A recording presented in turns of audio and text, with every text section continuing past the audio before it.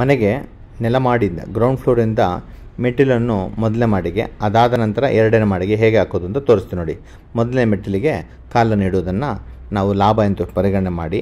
ಲಾಭ, ನಷ್ಟ ಲಾಭ ನಷ್ಟ ಲಾಭ ನಷ್ಟ ಲಾಭ ನಷ್ಟ ಲಾಭ ನಷ್ಟ ಲಾಭ ನಷ್ಟ ಲಾಭ, ನಷ್ಟ. ನೋಡಿ ಹದಿನಾಲ್ಕನೇದು ನಷ್ಟಕ್ಕೆ ಗಮನಿಸಿದ್ರಲ್ಲ, ನಷ್ಟ ಆದಮೇಲೆ ಲಾಭ ಮತ್ತೆ, ನಷ್ಟ, ಲಾಭ ನಷ್ಟ, ಲಾಭ. ಆರ್ ಸಿ ಸಿಗೆ ಹತ್ತೊಂಬತ್ತನೇದು ಮೆಟ್ಲು ಬೆಸ ಸಂಖ್ಯೆ ಇರೋದ್ರಿಂದ ಮೊದಲೇ ಮಾಡಿ ಮುಗೀತು. ಲಾಭ ಮುಗೀತಲ್ಲ ಸೆಕೆಂಡ್ ಫ್ಲೋರ್ಗೆ ಕಾಲಿಡುವಾಗ ನಾವು ಮೆಟ್ಟಿಲು ಮೊದಲನೇ ಮೆಟ್ಟಿಲು ನೋಡಿ ಲಾಭ ಅಂತಲೇ ಪರಿಗಣನೆ ಮಾಡಬೇಕು. ದಯವಿಟ್ಟು ಗಮನಿಸಿ, ನಷ್ಟ, ಲಾಭ ನಷ್ಟ ಲಾಭ ನಷ್ಟ ಲಾಭ ನಷ್ಟ ಲಾಭ ನಷ್ಟ, ಲಾಭ. ನೋಡಿ, ನಷ್ಟ. ಹನ್ನೆರಡನೇದು ನಷ್ಟ ಇದೆ.